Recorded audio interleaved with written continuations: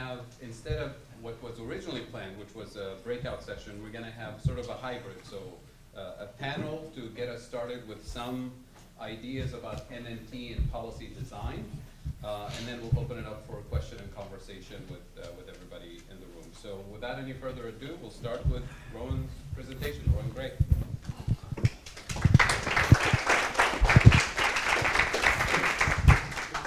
Hi, nice to see you all again. It's been a long time. Um, so I'll try. I want to try and get to a fair bit of storytelling, so I'm going to try and keep the analysis short, and we can talk about it afterwards.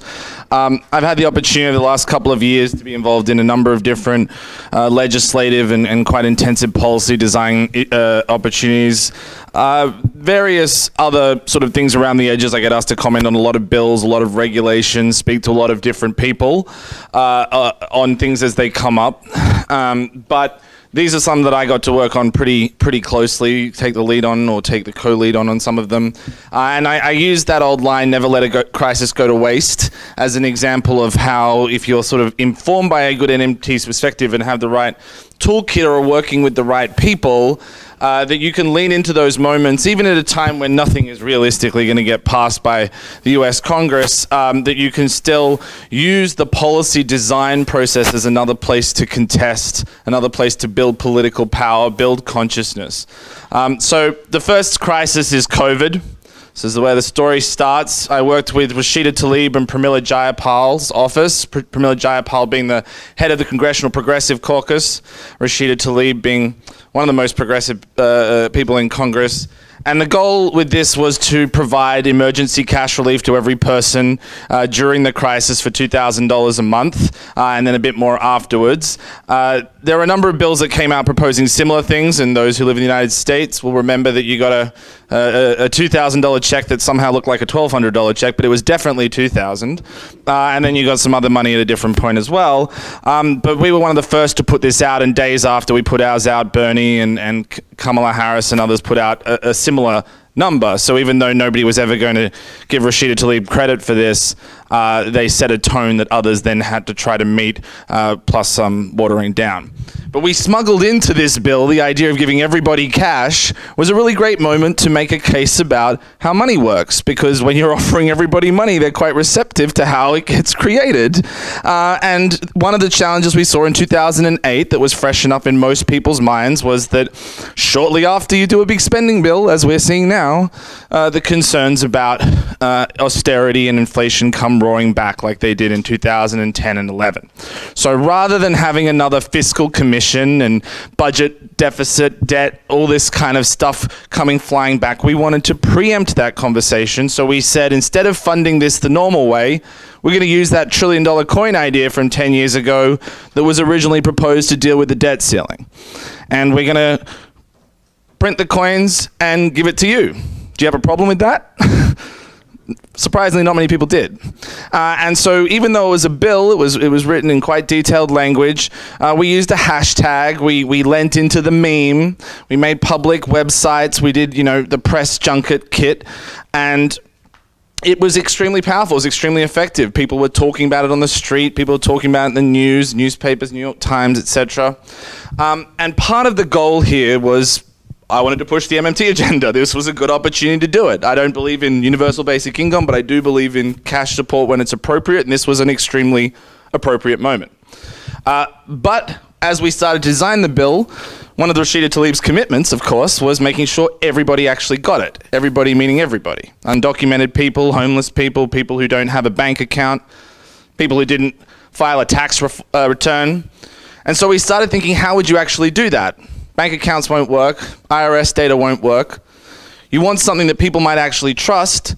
That is to say, a card that's not connected to any strings and any backdoors and all that kind of stuff, that's not going to have a bunch of interchange fees that you could go and give to anybody. And there is that technology. They use prepaid cards, although they're badly designed now. So we said we'll do it better. We'll take out the, the fees, we'll make it user accessible, and one day we'll actually make one of those cards where there isn't even an intermediary private bank providing the cards. We'll make an actual digital cash card. But of course, it's not all good enough to say come to your local postal service and you can pick it up when a lot of people are struggling. A lot of people are home disabled. They're afraid of COVID. They're houseless and not necessarily able to get themselves places if they can't get public transportation.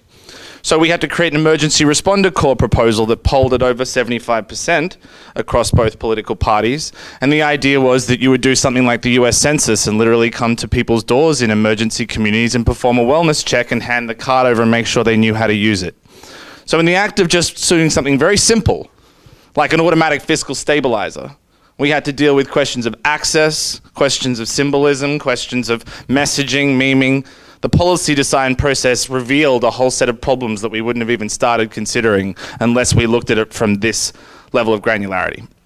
We also worked with some local elected officials. It started with some members of the Democratic Socialists of America in Chicago on the uh, city council, and they were saying, What can we do at the state and local level? We can't print money. And I said, The first thing you can do is ask the federal government to get some to you and give it to you. So, fiscal sharing, second of all, the Fed created an emergency lending facility for state and local governments for the first time ever after refusing to do so in 2008. But it was designed as some weak source designed to fail. So we said you should do that better and properly. And then we also said in the future, recognizing Christine Desan's point that even state and local uh, lending and banking based frameworks have problems, we should look at ways of designing state and local complementary currencies and having those supported directly by the Fed through this newly established swap line arrangement system they use for supporting foreign currencies. If you can provide a swap line from the Fed to the ECB, you can provide a swap line from the Fed to the state of Illinois. We had over 100 elected officials on this, got a fair bit of press, and again introduced the MMT ideas of Mint the Coin and Rashida Tlaib's bill being a great example of something they were supporting at the same time. And again, wasn't going to pass anytime soon, but allowed a whole generation of state and local elected officials to realize that when these moments come, the person they should be pointing to is the person with the money power, and these are the kinds of arguments they should be making, proposals they should be doing. Second big craze, as you probably are sick of hearing from every one of your crypto bro friends, right?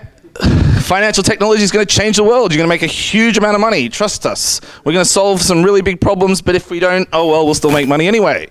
And one of the big areas in this, uh, whatever you think about all of the private cryptocurrencies, um, the story of stablecoins, that is to say, digital coins whose value is supposed to remain relatively fixed at the value of the US dollar or something else. Uh, in my view and the view of other banking scholars, is essentially an uh, unregulated bank deposit. This is shadow banking. Again, we've seen this story before with money market funds. We've seen this story before with e-money, PayPal, money transmitters. And we've seen it before with wildcat banks and things like that. So we said the problem here is, in fact, that the banking regulatory regime has had a long-standing hole in how it defines deposits. This has been well written about by colleagues of ours, widely respected. It's, it's a generally accepted problem amongst depository law experts. So we are going to fix that loophole once and for all. We're going to use the negative energy around crypto, and we're going to try to preemptorily address this new mania on the way up in the way that people like Minsky suggested. And this was extremely Uh, uh, poorly received by the crypto community precisely because they knew it was very devastating to their framework. It's very easy to say that Bitcoin and Ethereum and things like that are outside the state and doing something revolutionary. It's a lot harder to say you're doing something truly revolutionary when what you're doing is issuing something that walks and talks like a US dollar bill. Uh, this was seen as extreme and radical at the time, even though Stephen Lynch, who was a well known Democratic moderate who happened to chair the FinTech task force in the House Financial Services Committee, so no marginalized figure in Congress by any stretch, uh, was the co sponsor uh, of this bill. Uh, and uh, a year later, the recommendations in this bill uh, were largely adopted, not entirely, but largely around the, the, idea that there should be a banking license by the President's Working gr Group report on stablecoins, and is now the Treasury's position, although there are other forces trying to weaken that regulatory regime back to the, to the framework they would have preferred to have uh, if we didn't insist this was the better way of doing it. Uh, we also proposed independently and somewhat before the crypto craze, but I'm putting it together because I think they make a nice pair, a public banking act which would not establish a federal public bank because for the reasons that Christine was mentioning, I don't think we need to be doing through credit and lending models what we could be doing through spending and taxing models at the federal level. But state and local governments don't have that power, and there are still some pretty tricky logistical and design issues to work out around a, a, genuine system of nested complementary currencies, which is how you might actually have monetary pluralism at the sub-federal level connected to a federal system. So we said let's have the federal government provide a regulatory regime that would recognize and support state and local governments to create state and local public banks. We'll provide an incubator program, we'll provide grants, we'll provide support from the Fed, We'll give them special interest earning accounts. So if you store money on behalf of a state or city government, you don't actually have to worry about investing in the stock market or investing in some risky security because we'll give you a great return above the market rate where you can just park that money there. Uh, and we made sure that all of those grants and incubators were financed by a special purpose account at the Fed so that it didn't show up in the budget numbers, couldn't be accused of adding to the deficit. Again, some nice accounting gimmickry to get around some dumb accounting gimmickry critiques. Uh, the third crisis, somewhat related, is the crisis of central bank digital currencies. Uh, after Facebook tried to create its stablecoin Libra, the artist formerly known as Libra, now Diem, now deceased. Um, the, central bankers finally realized that the one thing they hate more than providing public goods directly uh, is losing power over the banking system to big tech. So they decided they were going to create, uh, finally need to create a, their own CBDCs. A few countries that were more foresighted had already been ahead of the curve on this. But uh, I had started working on this about three or four years before that, working with the International Telecommunications Union at the United Nations to develop technical standards around how central bankers should design these. This was very neutral, this was very uh, standards based, this was simply trying to set out the debate with clear terms so that wherever policymakers fell, we had a language to describe that. Uh, and then I had the opportunity to work uh, with again, Stephen Lynch's office to develop a bill to say, look, it is good to have public digital money. Bank accounts do not cut it, uh, but we don't need to replicate uh, bank accounts alone. We need to actually have a form of digital currency that works like cash. Doesn't keep a record, doesn't keep a ledger. You can store it in your pocket. It works offline, works on a card or a phone, and it protects your privacy and anonymity so you can avoid Big Brother uh, while also still believing in public goods. And we're in the middle of pushing this idea in Congress still, uh, but it was covered by all the major press, all the major tech press, all the major crypto press. Uh, a number of stakeholders across the spectrum loved it. The ACLU and other privacy groups who had stayed on the sidelines on monetary issues for 15 years have got in there in the fray and right into the Fed now. Uh, various racial justice groups and others are in on this, and we're starting to work with technologists to actually build proof of concept because the biggest challenge at the moment is imaginative. People go, is that even possible? it is possible, but you have to show, not tell. Uh, and lastly, the big crisis of inflation. Again, we've been working on some of this before inflation hit. Uh, Ayanna Pressley's office wanted to propose a job guarantee in the tradition of the civil rights movement and the tradition of Coretta Scott King and Sadie Alexander and black women leading the charge for a job guarantee in the United States. We developed this initially as a resolution that was intended to become a full bill. Uh, the resolution is, I still think, probably the most progressive and detailed articulation of a design proposal for a job guarantee, uh, including a worker bill of rights, workforce development, unionization, pay scale commitments, things like that. Uh, but in the process of trying to design the full bill, it became apparent just how many questions uh, and thorny details need to be seriously addressed before we can seriously suggest it be introduced into Congress. And that process is still ongoing. It's a little bit harder when the Biden administration says in no uncertain terms they don't about the job guarantee. But uh, what has been humbling in this process, even more than some of the others, is just how big the challenge of doing this design right is uh, once you get close to the details. Uh, and then lastly, uh, dealing with inflation, not through trying to preempt the NAIRU unemployment uh, trade off that we're seeing back in the public debate now, but to look at ways that we could keep interest rates at zero while still regulating private investment through credit regulation, reviving a long tradition of using credit regulation around the world, uh, including other tools like required savings, uh, liquidity and leverage limits on uh, regular firms, and uh, reforming both the uh, Congressional Budget Office and establishing a interagency uh, organization to manage price regulation. Uh, this report came out at a time when a lot of people were talking about MMT as only caring about uh, uh, fiscal adjustment. So if you can't change interest rates, your only other tool is to keep fiscal policy adjusting to deal with demand. And our point was to show that there are, in fact, many different tools to skin many different inflationary cats, uh, and that this crude binary is simply the neoclassical orthodoxy trying to pigeonhole MMT and the the, tools available to us into the binary they have and simply flip it upside down. So I'll stop there. Happy to talk about any of those experiences, but hopefully you can get a sense of the kind of policy work we're doing, the kinds of questions we're asking and trying to address, and the ways in which we're working with actual policymakers on this, even in conditions where it's extremely difficult to get any legislation passed and still moving the needle uh, in important ways. Thank you.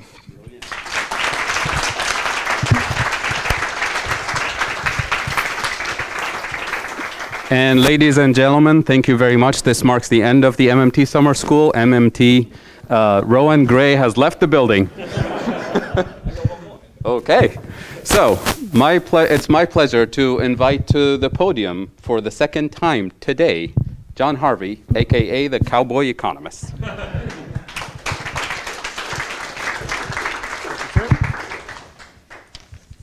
I thought I was going third. All right. Well, first of all, I think you'll be very pleased to hear that I'm going to follow a famous dictum right now, and that is that there's no such thing as a speech that is too short. And the reason for that is that I'm not really an MMT policy person. I mean, when I you know, teach an intermediate macro. When I get around to policy, I block copy things from Pavlina and from Stephanie and from Fadhel, and I tell the students all about it. So it's not an area that I am um, an area of scholarship for me. Uh, my area is more exchange rates. And so I was mentioning this as we were setting this up to Randy, and he said, well, Why don't you talk about interest rates then? I said, Okay, I can do that. All right. So, and the idea that in the MMT job guarantee world, we might be uh, keeping interest rates low. And this is actually a little bit um, in opposition to what I had said earlier. Because earlier I had said, okay, well, if we have this um, uh, MMT job guarantee world, that, that the, the worry about this collapse of the currency is, is not something to be worried about. Well, the way, and, and here's the other problem. You guys asked excellent questions. And so a great deal of what I was going to talk about right now, I, have already said. But the gentleman in the back there is asking about, you know, well, but won't monetary policy still matter uh, going through the, you know, uh, capital markets uh, mechanism? And yes, I mean, as I mentioned here, you know, just a few hours ago, uh, you know, why did, how did they hold the ruble up? Well, they doubled the interest rate. So what if an MMT run, you know, inspired economy is maintaining very low interest rates? Well, that's likely to keep the, you know, value of the currency low, which I mean, do you want a strong or a weak currency? That that's a, a that's a question of whether or not you're thinking about the currency as being a cause of subsequent events or the result of things that, that led up to that. Um, you'd like to think you'd have a strong currency because people like your country, and so as the result of policies, a strong currency is good. But as a you know cause, especially for a developed economy, um, you'd rather have kind of a weak currency because you can export easier. But but at any rate, the whole idea that um, you know well an MMT policy would probably cause you know exchange rates to be stronger because you have low unemployment and so forth. Well, the interest rate is a really important variable in all that. All right, so um, maybe John Harvey's not right that, pardon me, that it's not the purchasing power parity line. it's not the purchasing power parity line that's causing the, the currency to be weaker, but it could be the interest rate one. So what do you do about that? I mean, uh, to some extent, you could just say, well, screw it, we'll ignore it, but that's easy for us in the United States. We don't have to worry about that so much. But, uh, and as I said earlier, uh, the answer is capital controls. I mean, do we need to have, uh, what was it, 98 point, I can't remember now, 9%, uh, bless you, Father, Son, Holy Spirit, 12 years of Catholic school. Um, and uh, do we need to have you know 98% of, of these transactions that are taking place in the currency market that are just related to financial capital flows? Well, no, we don't. Now, how we actually make this you know come down realistically, and this is really the topic here of the panel. So I, I can't speak to how, and we need Rohan to tell me how do we how do we make this happen, um, short of revolution, um, because those who are gaining from that are not going to be in favor of you know, well, gosh, the free market. Uh, we need to be able to you know pull our money out of Mexico if Mexico doesn't seem like it's a good investment and put it in you know Peru or whatever. Um, so I mentioned briefly a minute ago, and this is what I wanted to talk about now, uh, are some policy ideas uh, from Ilene Grabel. And again, I'm sorry that I already talked about this, but you guys asked really good questions. Um, and that is, you know, in trying to lower the, the, the you know, quantity of currency that is being just directed towards financial capital flows, uh, especially if you're not the United States and, and you're, you know, uh, Venezuela. Um, then what can you do? Well, you know, we have this, the, the, the tripwires. As I mentioned earlier, I said one tripwire is a, um, the ratio of borrowing in foreign currency to domestic currency, as that goes up, before the Mexican financial crisis, before the Asian financial crisis, both of these things went up in these countries because it meant that they were becoming more and more susceptible to a currency depreciation. And, you know, short term versus long term, there's a number of things we can calculate uh, to, to, you know, look at these as, as, again, as tripwires. And then things that act as speed bumps to sort of slow down the, the outward capital flow. But I think that, that you know, Ilene Grabel, the big example she always uses is Venezuela, where they had, you know, much stricter. If you're going to invest in Venezuela, then you have to have, this is no longer true, but um, you have to have a compensating uh, balance at the central bank that earns no interest. Um, we have, you know, penalties for early withdrawal. Uh, and it's a difficult everything about being a develop, developing country is a difficult road to, to, to you know follow but um, does that reduce the amount of capital flows to venezuela? Sure. But it also reduces the you know the, the possibility they can suddenly leave. And i wrote a very primitive paper some time ago uh, on the impact of the mexican financial crisis on all of the other you know latin american countries. And venezuela was the one where it was the least affected. Now, I don't have, I, I can't argue that it was specifically because of these policies, because uh, I didn't have a, any way to look at that transmission mechanism. But nevertheless, um, it, it, seemed to work, all right? Uh, and so, what do we need to do to, you know, make this to where, because we're also so susceptible, as, as is happening right now, there's inflation, right? Oh, well, it's MMT's fault. Well, no, it's not. I mean, but but when these things happen, we're going to get blamed. So, uh, yeah, uh, and so you know, if if the currency were to depreciate because the interest rates are low, oh my God, it's all MMT's fault. But that's not going to happen if capital flows aren't the primary determinant of exchange rates. Uh, and, and, so, if we can get it to where what is driven, you know, what's driving exchange rates is in fact the um, I hate to use this neoclassical term, but a real economy, uh, then that's something that, that you know would not become a problem. And uh, yeah, that's all I got. Thank you. Thank you. Thank you, John. Um, this panel is sort of representative of the uh, the blend that we have between the economics MMT community and the legal uh, tradition, legal scholarship. So John uh, Haskell will be our next speaker and will represent that wing of the, uh, the family. John.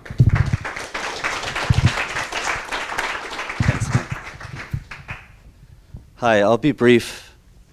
Um, to get to this, I think the idea that uh, Fadhel had told me was that this was originally in the spirit of a breakout session. So I sort of want to end my comments with a question to, to you, gang, and also just to the cohort more generally, maybe. I don't know. I, I defer to you. Anyway, okay, so here's my idea. My question is like, what are non intuitive alignments that we could think of to advance a progressive New Deal development state agenda? And I want to talk to you a little bit about a personal story of why I got entangled in crypto blockchain and where I am right now. And I mean this in a way of like trying to be really honest and practice a spirit of democratic social, ah, you know, and get at something real to the underlying traumas and the experience of trying to feel this out and what it means to be moral. You know what I mean? And not give that away, but also take, you know, self preservation and all these really difficult questions that are so baked into how we think about social coordination and a healthy organization and healthy interpersonal relationships and all those informal, nurturing aspects of an environment that actually make up a movement, right? Because if we can't be happy with each other, then what? And there's so many ways for good people of goodwill to run into tensions, and it's so hard to like, you know, get a handle on that. So I, I don't know how, it, it, it sounds suddenly too therapeutic or something, but it's in that interpersonal, organizational way that I kind of come at it. I, I like watching videos of Carl Rogers, of how he listens. I like reading family systems therapy for thinking about how organizations operate. Stuff like that, you know? And, and in that, so my idea was, well, in improv, they say you always have to accept what gets put on the table, right? So if someone has a banana and they say it's a gun, you go, ah.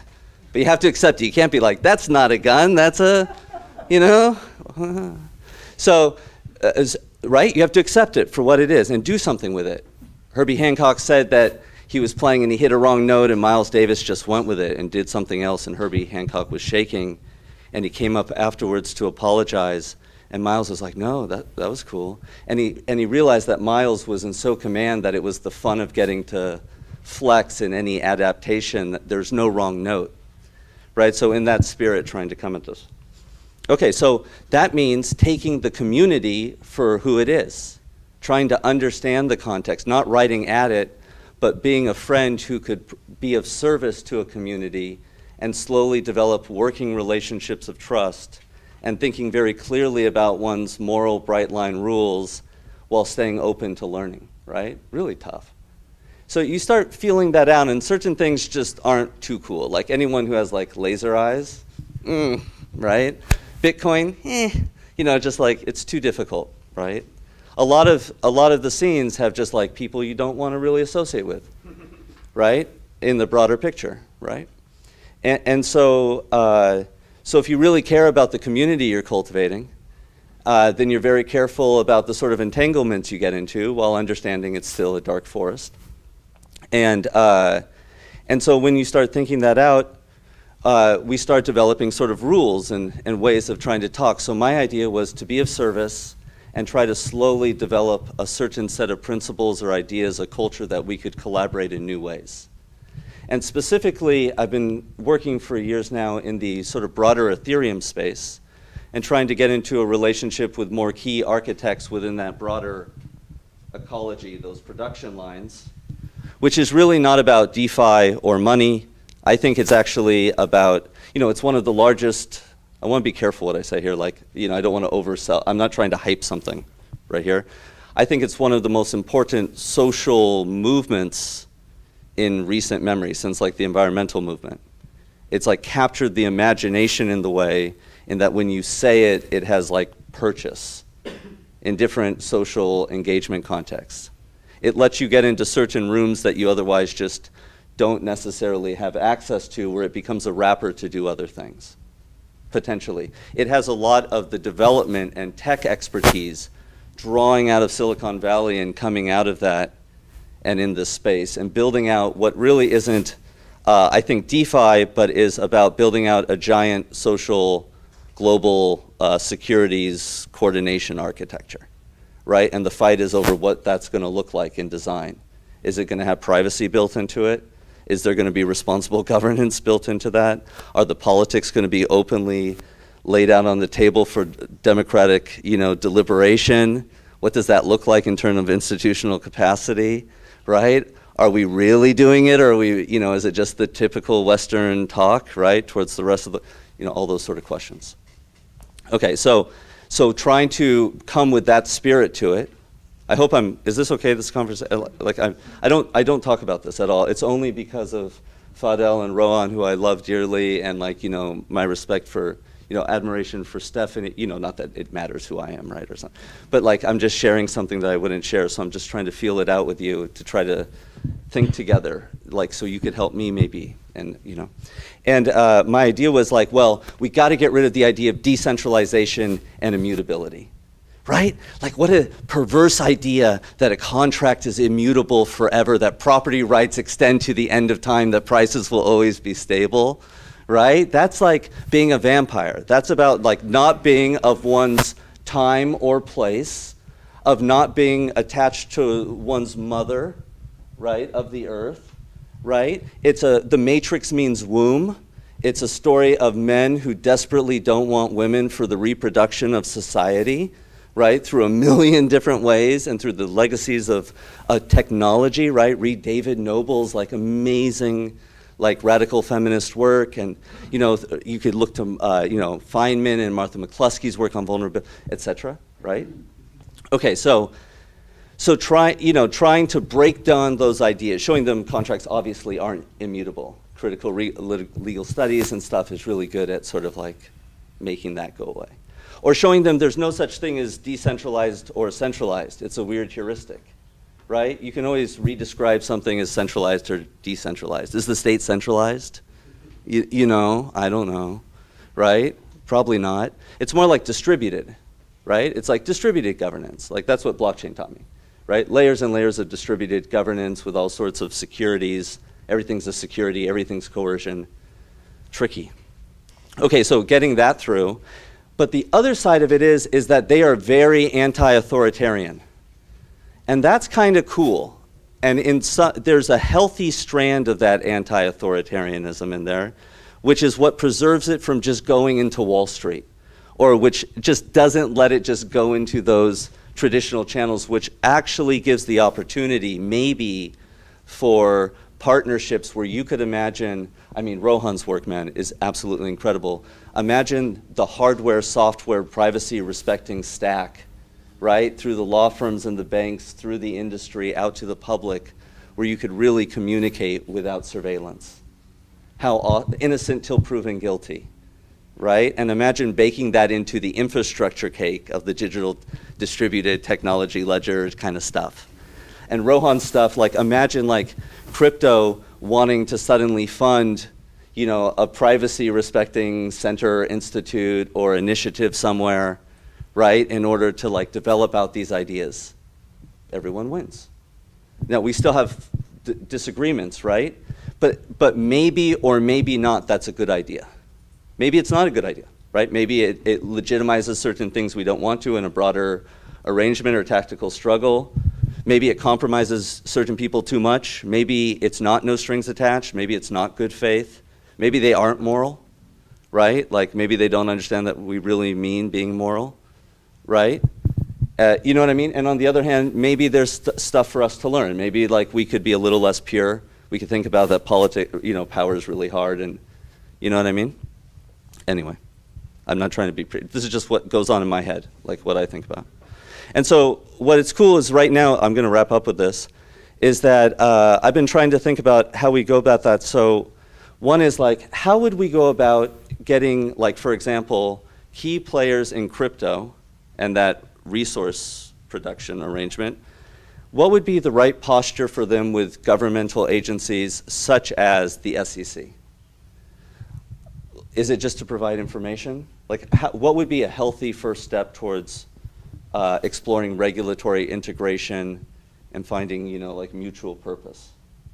A second question would be, uh, where could they, where could there be investment that would feel prudent and responsible and not be overly a conflict of interest? Right? What sort of ask would we make on them where we'd ask for their either technical resources or their money resources? You know, feel people out, see who they really are, right? That's what's so great about the job guarantee, right? It's like such a simple way to figure out where someone stands. If they equivocate, mm, you know what I mean? If it goes on gender, mm, you, you, know what I mean? You kind of know where someone is in a room, right? It's an easy one. So, uh, and, and finally, uh, what would that look like in development policy? So right now, advising governments on blockchain law, but which are really a development state program of how to integrate that to get funding for a Green New Deal in a way that's not just purely speculative. So we really need your expertise, I really mean this, in a multidisciplinary way of really brainstorming together about what sort of design that would look like so that we can do something that's responsible, you know what I mean? Or, or something like that. Okay, so thank you very much for letting me share with you. I appreciate your time.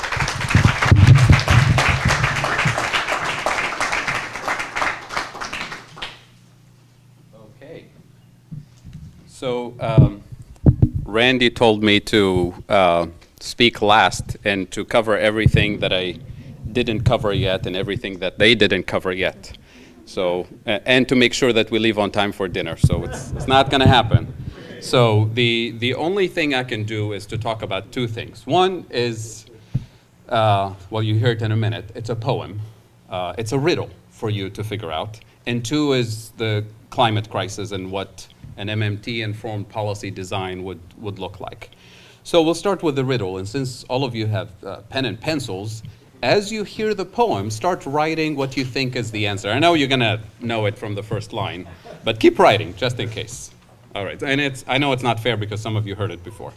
So anyway, if you heard it, don't say anything. All right. It's a riddle for lawmakers. I'm the one the Fed wants to fight. They know not whence my appetite. I hide in plain sight, garnering a lot of spite. They taunt me in every speech, but I'm way out of their reach. And despite whatever they preach, don't they hear the deficit owl in its warning screech? They target me in vain every six weeks. They dig in their heels and never question their techniques. They call me names persistent, transitory, stubborn.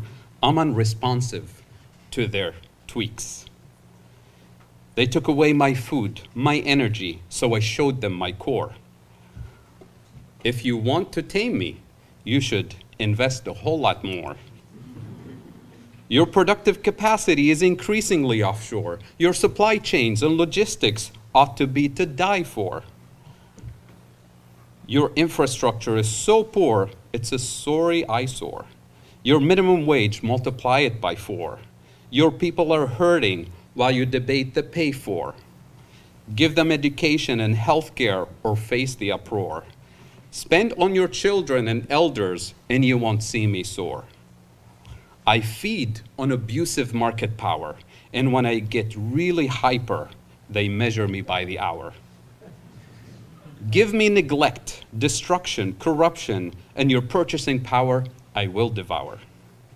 Trafficking and cartels greatly fuel my horsepower. I fear democracy, resilience, food sovereignty, and every locally produced green kilowatt hour. Tax and regulate the oligarchs, polluters, speculators. Listen not to gatekeepers and ivory towers. You don't need their money or their permission. It's both democracy and the planet they wish to deflower. You have the power of the purse, which I fear the most. It's your ultimate firepower. I inflict even more pain when you invite me in, especially when you import food, energy, and medicine. Don't blame me if your value added is merely, merely paper thin. And if your trade strategy is to take it on the chin. Trust me, as I rear my ugly head, trust me, I will ever win. In the 1970s, I grew out of OPEC, but little did they know, they thought that Volcker broke my back. But it was really Jimmy Carter who found the easy hack. He deregulated natural gas, which began the frenzy of the frack. It eased my grip, but a peace accord in the Mideast ultimately set me back. Listen to MMTers, ask questions, please don't be shy. Stephanie Kelton wrote The Deficit Myth. Read it, it will surely demystify. Appalachia has a blueprint. Let their people testify. Decarbonize the grid and transportation real fast before we die. Rebuild the foundations like it's a new 4th of July. With justice for workers, both blue collar and necktie. Make it inclusive, not no excuses. It's not hard to diversify. Regenerative agriculture and climate jobs do I need to amplify? A dignified reentry for people. I can almost hear them cry. End the opioid crisis, poverty, homelessness. Don't turn a blind eye. Repair the damage, clean the environment, ask the, es- the experts to testify, to purify. Sorry. Alre- we're already paying for it with blood, tears, and money, so don't tell me cash is hard to come by. The cost of doing nothing is already sky high. The cost of doing the right thing is so cheap, your inaction is really impossible to justify. If you can solve this riddle, you know you can't just stand by. Much work needs to be done. You can grow the size of the pie. I can still hide around the corner, but if you've learned your lesson, I will gladly wave goodbye. Who am I? Who am I? Inflation. Thank you. All right. So I'll say a few words and open it up to conversation uh, on climate change and what we can do in terms of what would a global Green New Deal look like. And this is sort of to complete my remarks from yesterday about the, the structural traps that we have in the global south. I'll start with one piece of information. Uh, a couple years ago, the United Nations Environmental Program published a report called The Production Gap. Look it up, it's, it's ugly. Uh, in the sense that uh, the team looked at what the major fossil fuel companies and countries are planning to extract and burn by 2040 versus what we're actually allowed to extract and burn by 2040 hence the gap, the production gap. And we're on track to produce and burn 140% more than what we're allowed to. So if there is any other big problem uh, in the world that can compete with this, uh, talk to me outside. So, what are we going to do about it? We have to immediately stop building additional fossil fuel infrastructure. And number two, we have to have a, a rapid plan to phase out fossil fuels. Instead, what are we doing? Well, you know what we're doing. We're, if you look at the top 10 um, oil and gas companies in the last 10 years or so, every year they're adding capital expenditure at the tune of 600, 700, up to 900 billion dollars a year of additional infrastructure that investors are expecting a certain rate of return over the next several decades. So we're not even close to moving in the right direction. So for the fossil fuel companies who are doing this, for the governments, the prime ministers, the commissions that are actually approving all of this additional capital expenditure, both in the global north and in the global south, they're doing one of two things. They're either signing our collective suicide pact or they're defrauding investors because they're building stranded assets. Because if we're serious about decarbonizing, then all of that infrastructure will become stranded useless, meaning worth nothing from, from a financial perspective. So whether it's a collective suicide pact or financial fraud, it should be treated as a crime accordingly. So that's point number one. Point number two, how do we, if we get them to agree today, we're going to restructure the world and you know, never let a good crisis go to waste, as, as Rohan said. What is our plan? What is our vision? What is an MMT-informed way of restructuring the global uh, uh, international trade financial architecture, decarbonize the system rapidly, and do it with a just transition uh, for, for workers in the fossil fuel industry and related industries, for countries in the global south that rely heavily on exports of fossil fuels and, and so on. And that's where uh, I, would like to talk about uh, a framework for reparations. And reparations in the uh, literature is three things. First, you tell the truth.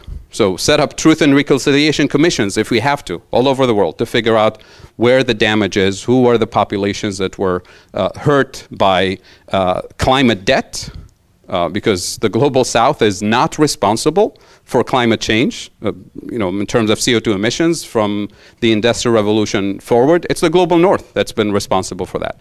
Uh, number two, we talked yesterday about the colonial and neo-colonial traps, colonial and neo-colonial reparations. So reparations means number one, telling the truth. Number two, moving forward actually with the reparations itself. And reparations doesn't necessarily mean simply monetary transfer, monetary compensation, although that's part of it. But we're talking about actually repairing broken structures. So how do you structurally repair the system, reverse the flow of those $2 trillion I talked about yesterday that are moving in the wrong direction, and transfer real resources, technology, patents, so that you actually rebuild economies to be more resilient, to face the challenge of climate change in the global south. So that, that means a, a whole new way of doing international trade, of doing quote unquote international development. Uh, from, from a global uh, north perspective. So if we're not changing the structures, if we're keeping the same international trade architecture, we're not going to move very, very far. Um, and then finally, how do you set up uh, a, a, different international trade financial architecture, not just for a one-time transfer, but for a, a continuous stabilizing financial architecture? Uh, Rohan earlier talked about complementary currencies at the local level in the United States, with the Fed providing swap lines to local states and municipalities to support those currencies. We do have swap lines between the Fed and a handful of other central banks globally based on geopolitical interest. It's an exclusive privilege that countries have to, to have a swap line with the Fed. And we know it works because it's extremely stabilizing during the global financial crisis, during the, the COVID crisis, so we know it works. But why should we make that exclusive to only a handful of countries? And why should the Fed, the United States, the State Department, in other words, be the agency to pick and choose which other economy we should support and, and stabilize. So uh, think of the SDR system, which is the, the, the, IMF sort of reserve currencies, special drawing rights. Uh, it's been in the news lately, and people are kind of thinking about it. Is, is this money? Is this reserves? What, what is it? And, and, where did it come from? All of a sudden, $650 billion worth of SDR were issued into existence and we sort of don't know how, where it came from and where it's going and, and why just 650? Why only one time? Why not make it every year? Why not every six months? For what purpose? Can governments actually use that money? So the SDR quote unquote currency or reserves are issued by the five countries that create the, the basket that the IMF uses to create SDR, including the US and Euro and the UK and uh, uh, China and Japan and so on. So it's an IOU, a joint IOU of those five countries, right? And it's issued to member nations according to their uh, participation or share in the IMF. So most of the issuance goes to the richest countries, uh, obviously, with the idea of, you know, some of the richest countries maybe will give their excess SDR to developing countries to help them buy COVID vaccines, for example which is kind of a, a, silly way of paying for the vaccines because we heard that the global north was given all the vaccines for free, but it turns out that the SDRs that were issued during the COVID crisis were just transferred into an account so that they can be transferred back to pay for the vaccines. So uh, pay attention to the SDR system and pay attention to it in a critical way because when we talk about law and economics in, in this community, we're talking about legal design. We're talking about systems and institutions that are created and designed to produce a particular public purpose. So can we think about a better legal design for this world currency, right? The SDR. Even some governments in the global south asked their own central banks. We heard that the IMF gave you $500 million worth of SDR we heard it's $500 million. We didn't hear the SDR part. So you have $500 million. Can we use it for fiscal spending during the crisis? And their independent central bank said, no, no, no, it's not real money. It's just SDR. You're not allowed to touch it, right? Because we, the central bank, use it to do other things, to stabilize the exchange rate and, and so on. So why not? It is real currency. So who is in charge of approving the uh, transaction from SDR into dollars or euros or British pounds. It's, again, the process is controlled legally by the IMF. So if we're talking about by 2040, we're going towards the cliff and there is no future on the planet, I think this is the time to think big and think about redesigning the institutional structure, the legal and economic and international trade structure so that we can actually meet the challenge of climate change. We're not going to meet the challenge with the current system, for sure, with fossil fuels in place, with $2 trillion moving in the wrong direction every year, and with the level of fiscal restraint that both the global south and the global north is, is living with today.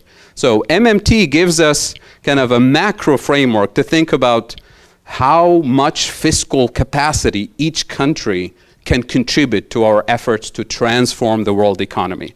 So we talk about the spectrum of monetary sovereignty. Not all countries have the same degree of monetary sovereignty. So you have countries like the US, Japan, Canada, Australia with a very high degree of monetary sovereignty. On the other end of the spectrum, you have countries that don't even have any monetary sovereignty, countries that dollarize their economy, don't even have a national currency.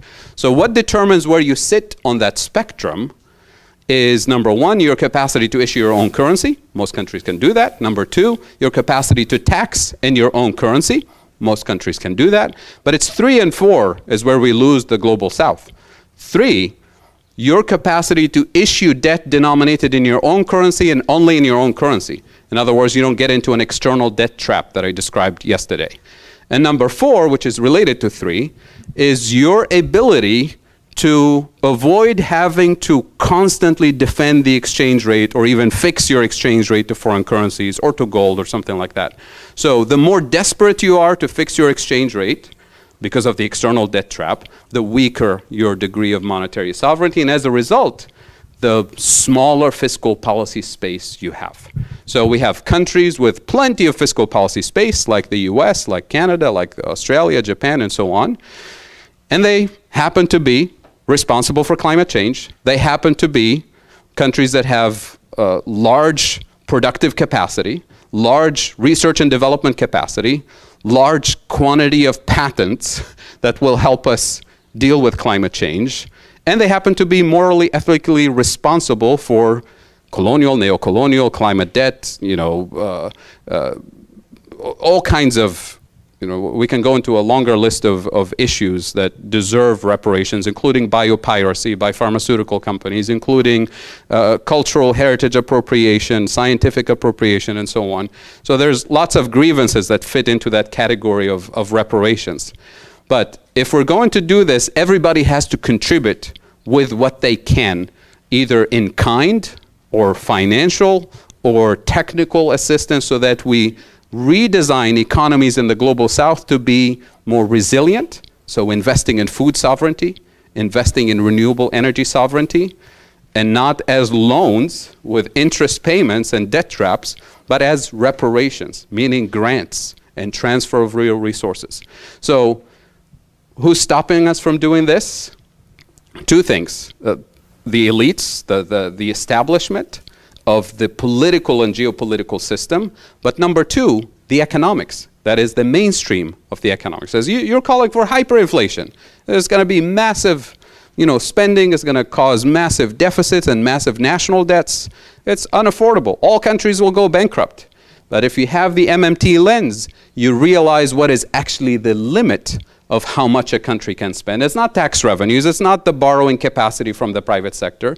The limit to how much you spend is the risk of inflation. And we're obsessed with the risk of inflation. That's why I wrote the poem. So what determines the risk of inflation? Two things.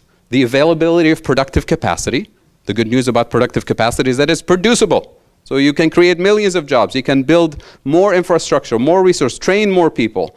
I mean, there are physical limits in terms of natural resources, but that's manageable. That's where you invest in research and development, material science research so that you have a different kind of output instead of this equipment going bad after three years. We want to produce laptops and cell phones that actually last longer, right? And we want to create a circular economy so that we truly have uh, a sustainable system. So lots of investment in research and development needs to go into the technology itself.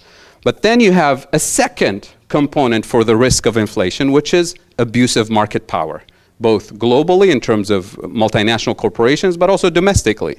So how do you go after abusive market power that drives a certain component of inflation? You don't go after abusive market power by spending less and say we can't afford to fight climate change. You go after abusive market power when you tax and regulate their abusive market power out of existence. So you democratize the system. Who's in charge of democratizing the system? It's the lawmakers who are responsible for upgrading the antitrust laws, for calling for investigations, congressional committees, Pecora-style investigations. So these are the things that we need to put on the table for us in the community, in the MMT community. Be ready with the policy ideas, with the policy design. Be ready to call their bluff when they say we can't afford it. Be ready to call their bluff when they say it's going to be hyperinflation. Be ready to argue for practical solutions that are within reach. I mean, I'm, I'm not naive. I understand the politics and all of that. But I think our strength in the MMT community is to understand the real political obstacles and to name them and to work on the policy design, the economics, so that when we have the opportunity, if we have the opportunity, and we must have the opportunity for our own survival, 2040 is the day after tomorrow. So, thank you.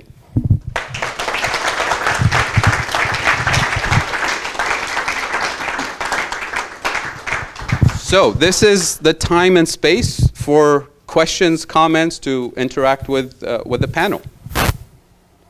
And, and I'll wait for hands up, and, and then I need to pass the, the mic, right? So I'll start with uh, Patricia. Thank you. Um, as you all know, a lot of what MMT has proposed is quite progressive, and um, progressive policy doesn't tend to be successful unless there is a strong enough pressure from the bottom up. And um, the non-progressives don't have that much of a problem because they tend to have more resources and they're smaller in number. So would you say that furthering democracy and increasing those channels for people at the bottom to express their will is a fundamental part of implementing successful MMT policy? And if so, what would your recommendations be to achieve that? Can we gather like three questions at a time? And then,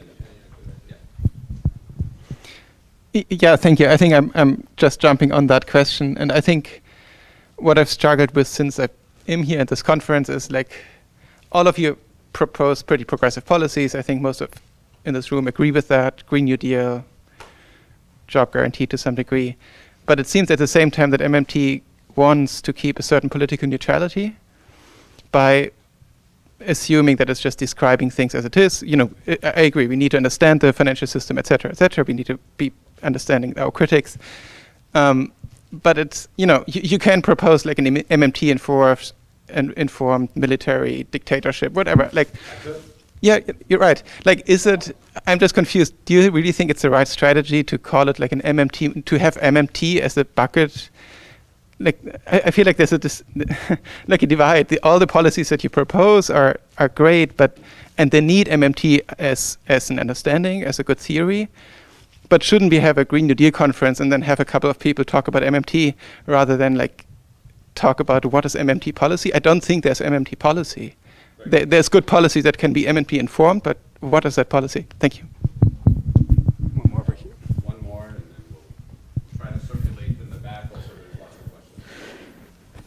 I think one of the things that often gets missed is that we live in a competitive society that doesn't believe much in cooperation. And when you have a market, sports teams, and all of those kinds of things based on competition, it forms a kind of archetype in our brains. And then that informs a lens through which we look at the world. So I think one of the things that we need to do is to create a new archetype focusing on how many times we cooperate with one another and emphasizing that. So I wanted to take a look at that particular aspect of how we change the ways in which we believe things that are actually myths. And cooperation seems to me to be a bigger factor in our support of one another than cooperation is in terms of our growth and prosperity.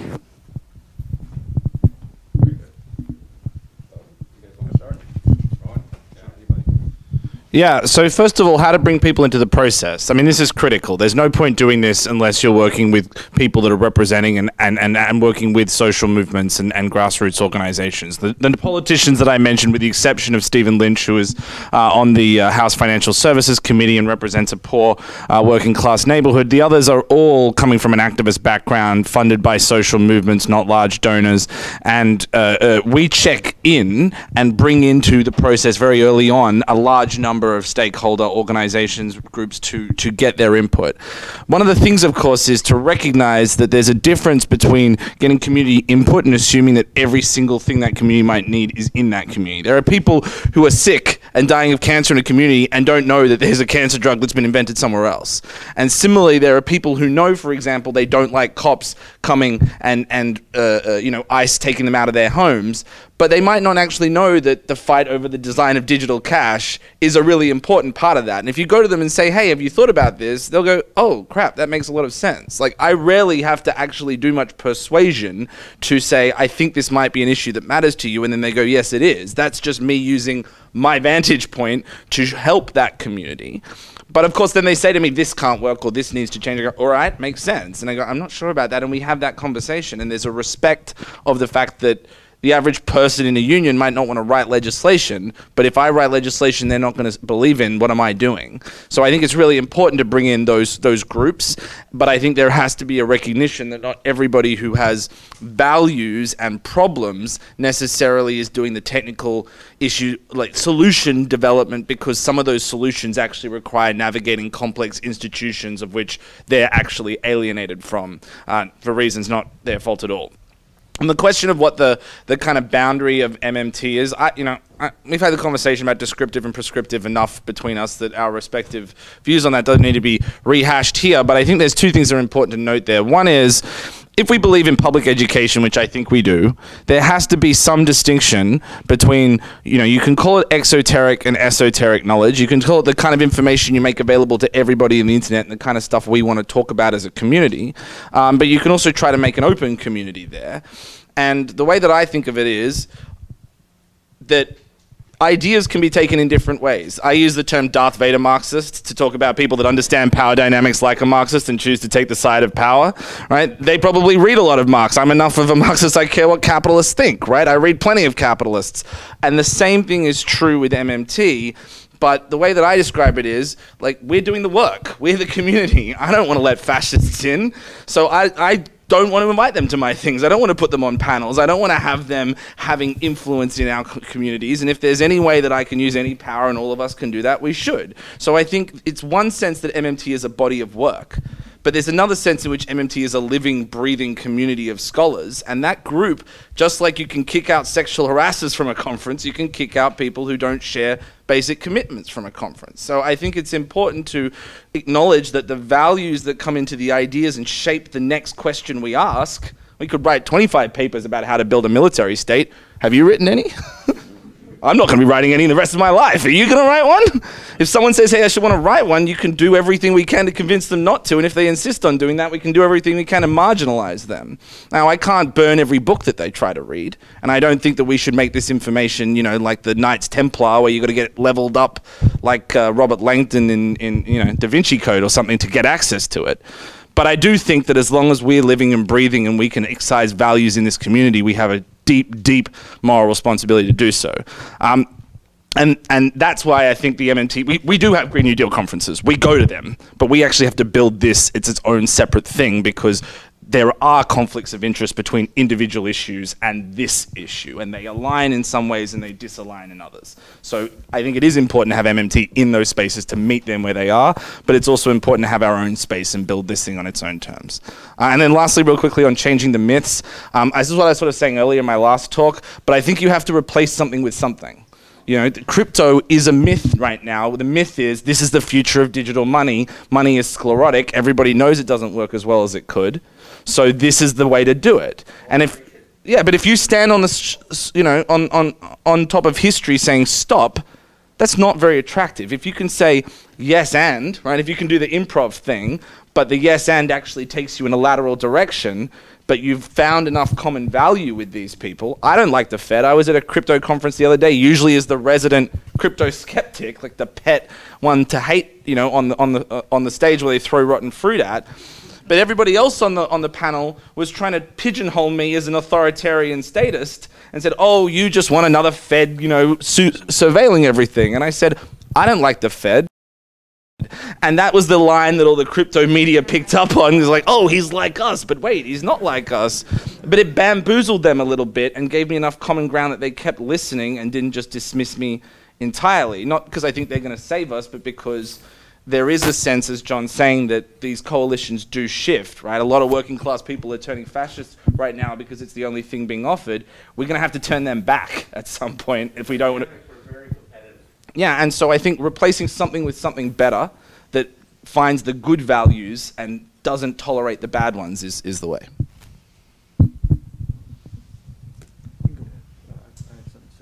Okay. Thanks for the questions. I have very little to say, uh, but would be happy to talk outside of this more. You know, I just want to hear more people, if that's okay. But my sense is like, you know, you can have a posture that's non-neutral, non-partisan, and um, that might mean that there's room for market innovation and understanding certain stakeholder interests and things like that, uh, with like responsible, you know, community orientation and regulatory integration, right? It's like there's there's like room to feel out what that means, and and the thing is that there's a lot of negotiation over what are those skills and resources that you might be able to leverage, right? And where is there potentially common ground, right? And where are those rules and lines for us? And maybe it's not a project we can do, right? But it seems right now that it allows us access to certain rooms. There might be shared values or certain skill sets. It seems to be happening anyway, right? And and how do you you know what position do you take in that? So that's been taking up a lot of my uh, thinking right now. And and sometimes I find that I'm trying to think about who's the client, what's the revenue line, and what is the production being offered, and what are the claims being made on each other, right? What sort of exposure does that, you know, open you to? What sort of maneuverability does that close down or open? You know, where do you feel comfortable? You know what I mean?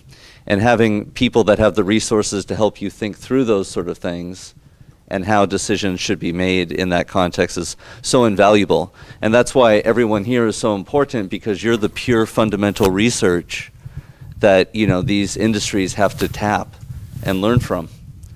You know, and it's like trying to uh, open up that kind of conversation. That that would be my uh, hope right now. You know, that's how I kind of broker that. Yeah.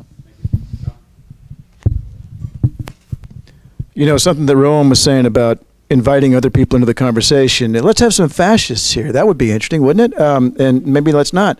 Made me think. I, I spent six years as the director of the International Confederation of Associations for Pluralism in Economics, and our idea was to have an umbrella group for you know institutionalists, post-Keynesians, Marxists, whatever. Um, and, and and Fred Lee was such a power. Uh, it, we, we, lost more than one person when, he passed away, but he was on our board of directors. Uh, and um, I can remember the meetings where I, uh, I was wrong. I would say, well, we have to include the neoclassicals or we're not being pluralist. And uh, if I may borrow your expression, the neoclassicals is basically what Fred said. Um, and in my own department, which had been, you know, primarily heterodox, and we started to get the new uh, hires that were the neoclassical people, and they all said, "Oh yeah, no, we're all behind, you know, this whole pluralistic idea." No, they're not. Um, and that's why I spent two years of hell, didn't I, Melanie, as department chair, uh, the last two years to try to push back. Um, and so there are contexts in which it might be interesting to talk to them, but uh, I don't, you know, uh, there, there's there.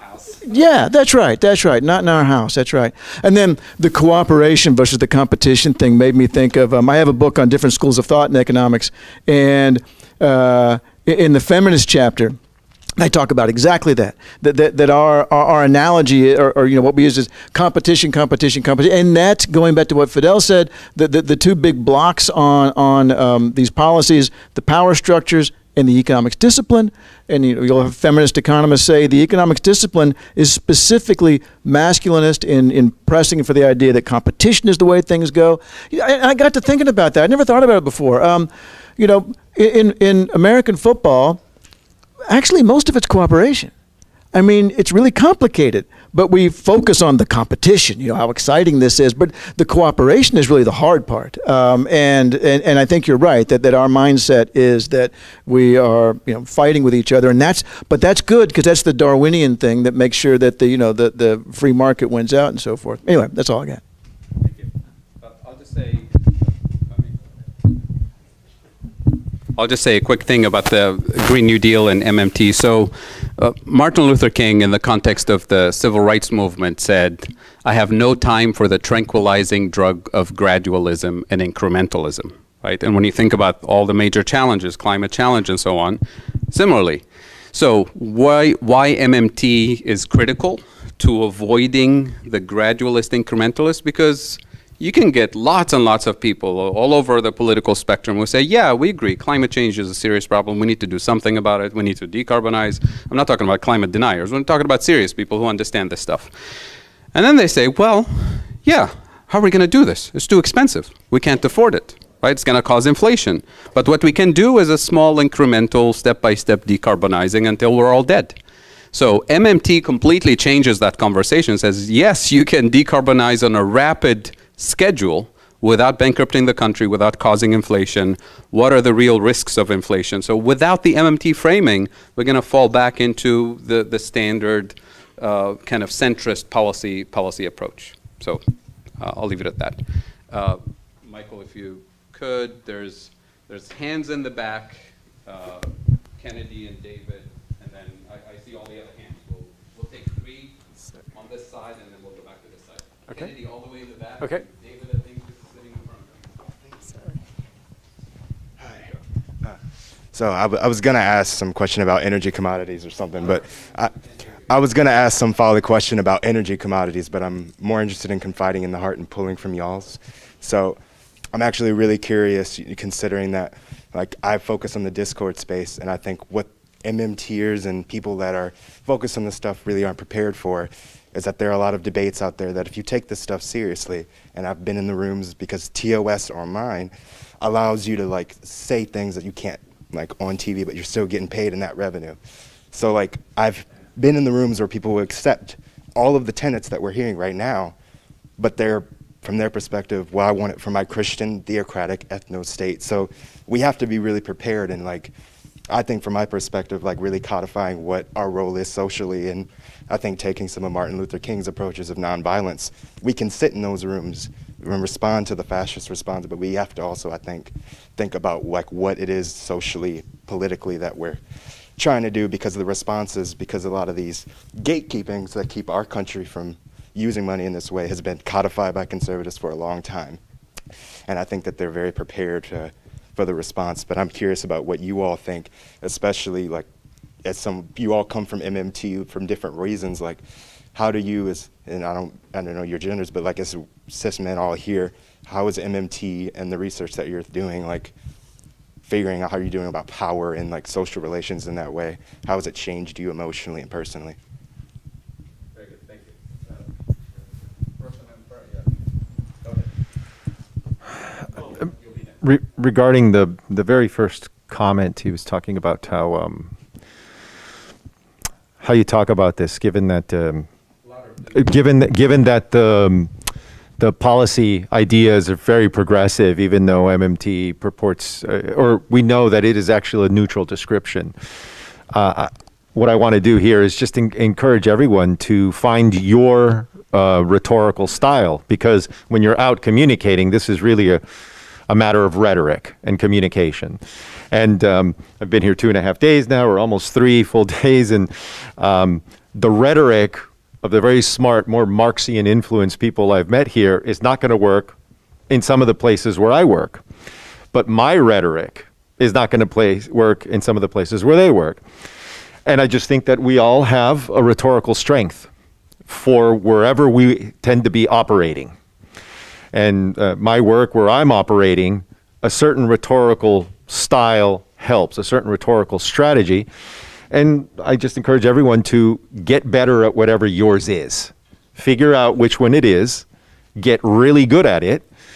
Uh, I'm going to get even better at this one, having spent this week here when I go back to work.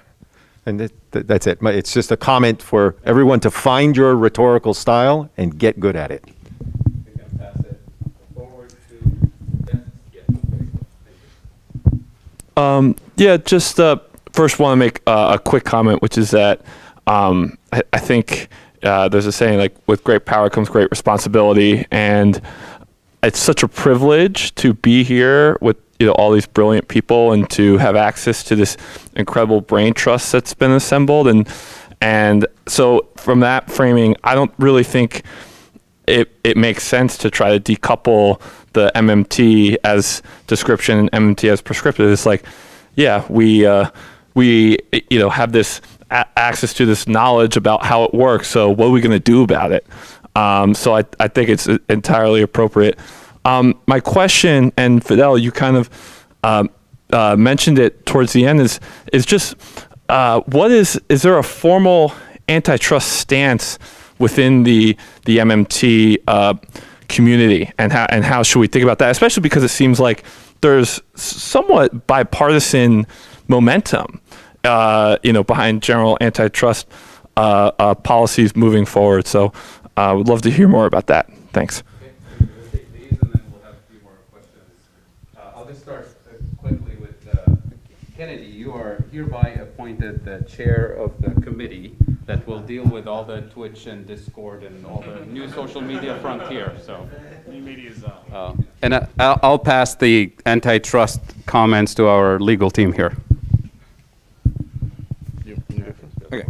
Uh, on the antitrust thing, short, easy answer. Nathan Tankus, Luke Herrine, uh, Sanjukta Paul, Sandeep Vaheesan. I'd start with those four. Uh, they're all very MMT conversant, if not MMT leaders themselves. They're all leading lights in the new antitrust movement. They're all very close to the FTC and DOJ and all that kind of stuff, and, and they're building the body of scholarship out.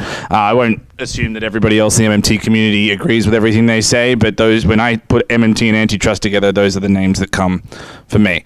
Um, Secondly, in terms of how, how power has personally changed me emotionally, I mean, I was talking with Kenny last night. I, I, I worked in an in a elementary school in, in Harlem, in, in uh, New York, for a year before I went to law school, and, and seeing the level of poverty and the racial disparities up close and the broken families that were still being actively broken by the white guys from Wall Street downtown who funded the school in exchange for high stakes test accountability that entirely destroyed the school environment and forced teachers to get fired out. It broke any sense of gradualism. It broke any sense that there's anything other than uh, a complete victory we need to aim for here. And it also meant that if you really don't put those kinds of people who need things the most at the center of your worldview, they will always be ignored. They will always be downplayed. It's not an intellectual exercise, it's a matter of human solidarity. And at least in my view, you know, the point of, of learning things isn't just to understand the world, it's to change it. And we're always either changing it or not changing it with our actions or perpetuating what's already the case. So right now, we do have serious problems. You know, we do have a problem with the eliteness of academia. We do have a problem with the white maleness of this community. And, you know, I came here with love and I had this problem. You can look at the first eight part MMT series I put on at Columbia, and in part it's because of where the community was then and things like that. But it was mostly white men and mostly manels. And we're on a manel right now, and there's been a few others in this conference. And I came with love. I didn't say I wouldn't participate, even though that's normally my approach with manels now. But this should be the last time the Levy Institute ever has one. Sorry, I'm just going to say it. Never again. It matters, and if you can't find those people, find different people. Have a conference that has different people so that we actually are building a community that isn't always just like this. Um, and then when it comes to things like having principles in general, I think part of the will to take power here is the will to be responsible. You know, great power comes great responsibility, but also if you actually want to win power, you have to be taking responsibility for problems that if you think they're not my problem is a way of staying powerless. If somebody says you need to fix this and you say I don't know how, okay, work it out. Because if you want to win, you got to work it out. You can't just say it's hard, therefore I'm not going to do it. We know how hard this game is. We know every other part of this is hard. Why is it it's so convenient that this one's just too hard? maybe that's actually a rationalization to not try something you're not really that committed to.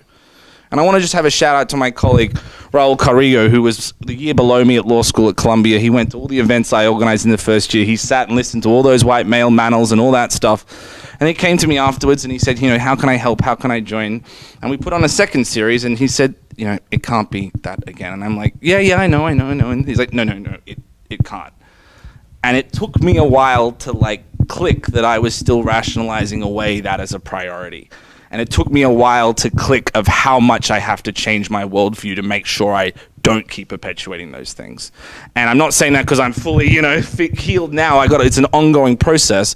But the best way to keep learning that process is to surround yourself by those voices who you're probably inclined not to want to listen to very much. And to take them way more seriously than you might be inclined to on first blush because there are reasons in your brain telling you not to take them seriously that have nothing to do with how valid their points are and everything to do with the fact that you're in the position you are and they are in the position they are.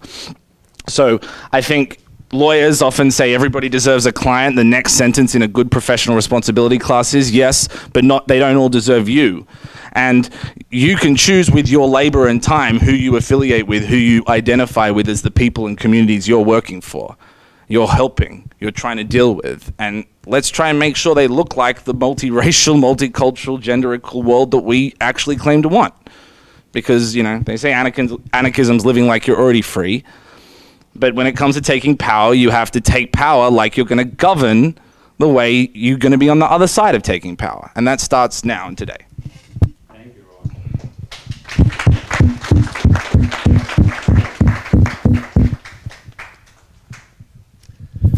Um, I remember when I first started reading Rohan, it was like uh, him arguing with people on blogs, and it was uh, one of the first things. Yeah, it was awesome.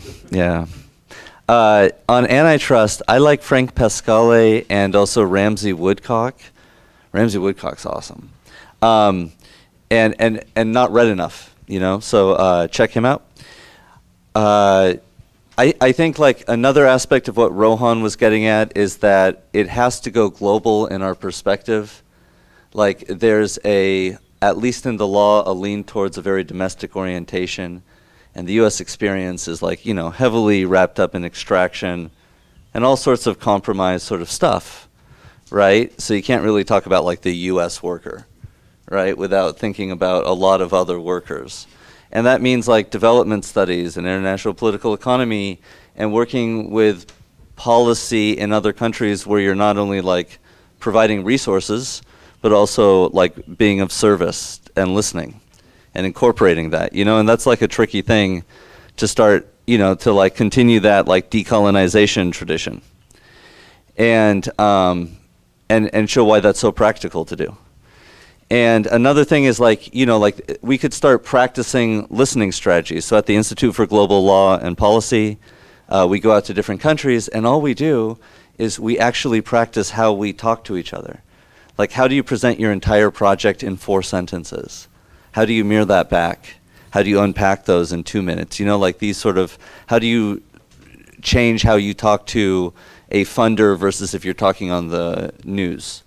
Right? And just like learning how to listen to each other, of cultivating that sort of sensibility, that can be real helpful. Um, you know what I mean? Like uh, that sort of work. And, and uh, yeah, so uh, just to Kennedy, I just wonder, like for example, it'd be interesting to know where you think like there's mistakes or blind spots right now. Like what would be a cool thing to do, uh, you know, with your like media expertise and thinking about you know, the sort of issues you kind of intimated in your statements. I wonder what you had in mind.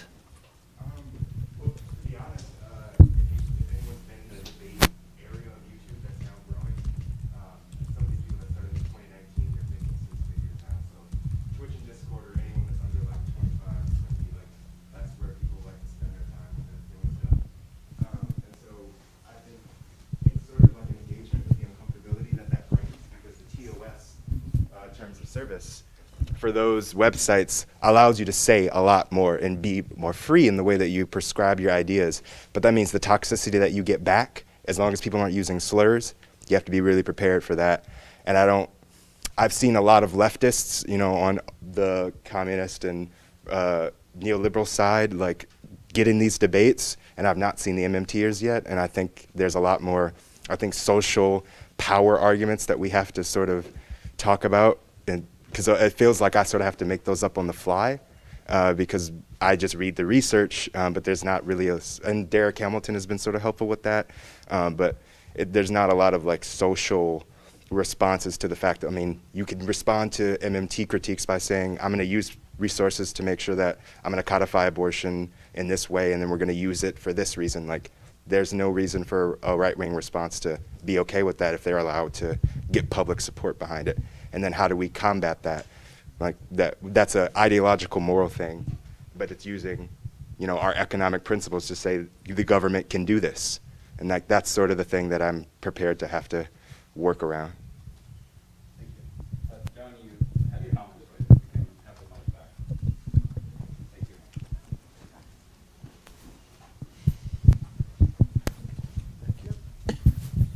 I was uh, struck by the comment of figuring out what your rhetorical strength is and going with that in trying to spread the word because I think that's absolutely right. Um, I look around at all my friends and colleagues who do different things with you know podcasts and so forth, and and uh, gosh, I should do. No, I'm not any good at that. I, I can't.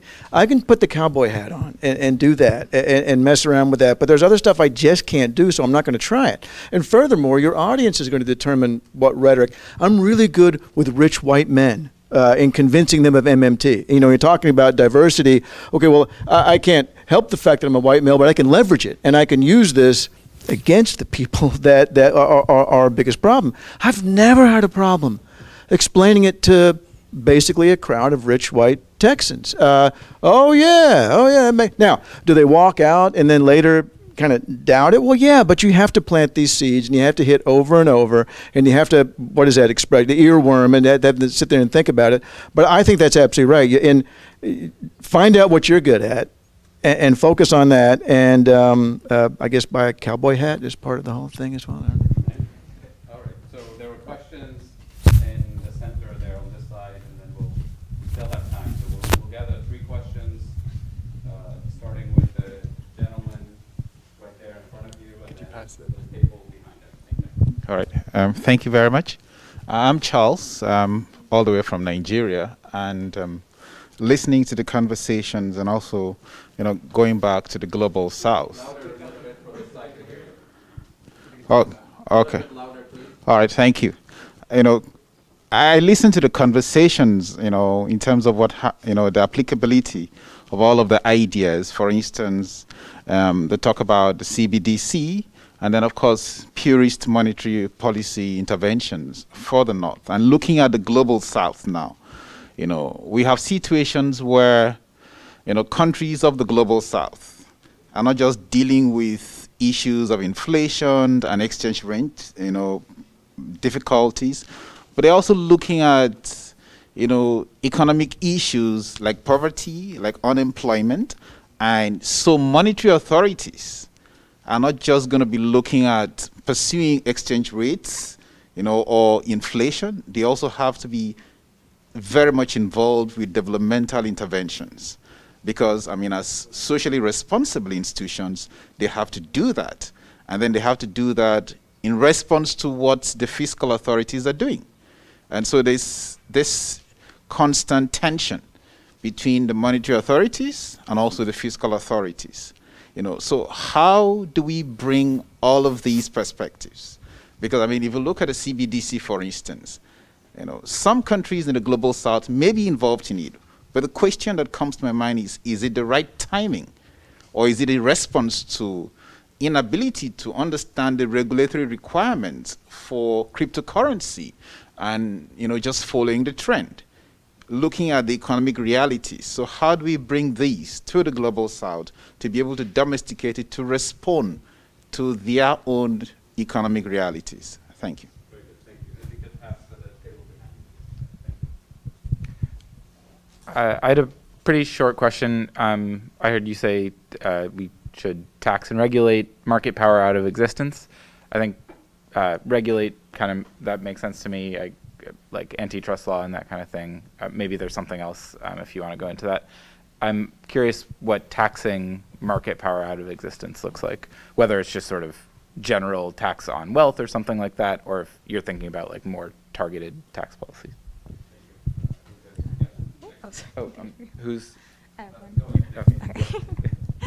Thanks. Um, going off of sort of Rohan, your proposals for different policy ideas, um, I'm curious, like, what kind of infrastructure is needed to sort of support in similar initiatives, um, and sort of any more detail you can give on like what the creative strategic process is in terms of coordination among, it sounds like members and NGOs or outside orgs um, and scholars.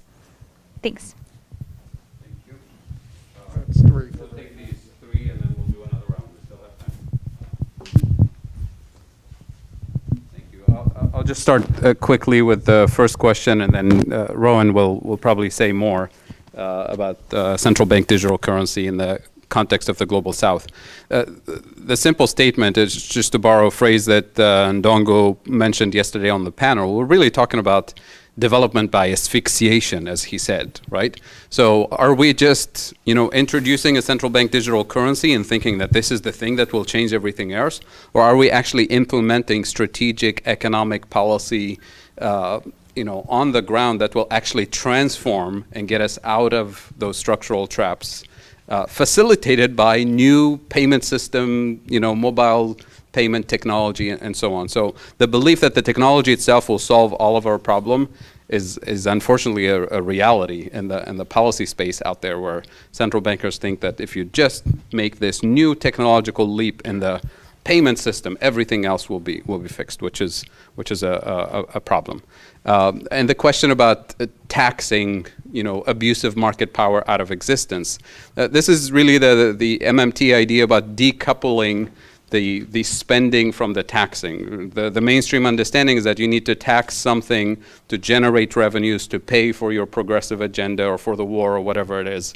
So here, the purpose of taxation is to decarbonize the system. The purpose of taxation is to reduce inequality. The purpose of taxation is to reduce speculation. The purpose of taxation is to end the possibility of oligarchies, right? So in terms of how do you fine tune it with specific taxes, we can get into the details, but I'm talking about taxing that abusive market power out of existence and transitioning away from a system where we think about redistribution of wealth and resources to a, a, system where we think about pre-distribution of wealth and resources. So we don't have to tax the oligarchs because we don't want to create oligarchs in the first place.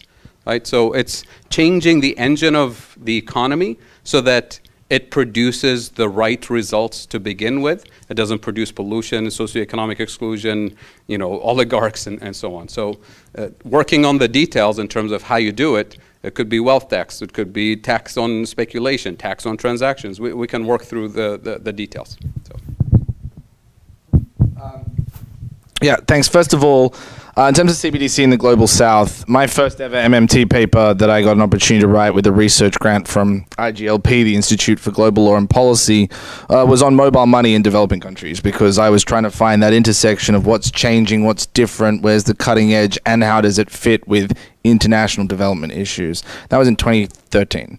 And now, you know, it's CBDCs, it's eCash, etc. But rather than starting with this crypto idea where you've got a solution in search of a problem, there's two things. You can look at what's happening and see where the trend line is and try to move it, or you can look at a problem, see what would need to be solved and try to bring it into existence. So for me, giving everyone a bank account is great. I support it. Postal banking, public banking, Fed accounts, support them all, worked on them all. But a lot of people don't trust bank accounts. And right now, we're in a world where the surveillance privacy balance is way tipped. And if you give everyone a bank account and don't do anything else, that means more control for the central bank. That means more censorship and, and, and ability to have your livelihood shut off by someone else. And so when I look at that, the eCash idea, the idea of something that works like cash, you don't ask permission, it can't be shut off, it's anonymous, becomes the solution to having a positive vision there, but also baking in the right values. And making sure that people know that's even an option and trying to support that is, is a pretty big part of it without becoming techno utopian. Because if you don't have the politics, if you don't have the community, it doesn't matter how good the technology is, it's going to get perverted or distorted. Um, in terms of bringing in institutional expertise, I think this is where you know having that public education aspect of MMT, right? It's descriptive in the sense we're just pushing some stuff out there that you should be able to read on your own and get something, but then also doing the cultivation of networks and support, outreach, finding allies, finding comrades, finding people there who match the people where you are and connecting them so that there's back channels when something new happens here, we talk to others. Like there are people here in the UK, there are people here in other networks that I've spent time with. In recent times, you get busy, you don't spend enough time checking in, and that's a shame. You've got to do better about that because without that glue, in those high stakes moments, you're not sure who to trust, you're not sure who to turn to.